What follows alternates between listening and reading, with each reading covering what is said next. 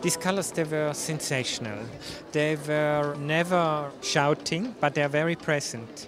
They are happy and they have an eternal quality which I've rarely seen before.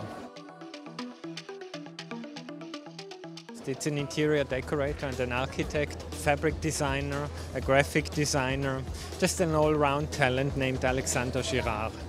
He's an artist in color, but then he has also this talent to do totally timeless but happy, wonderful fabrics.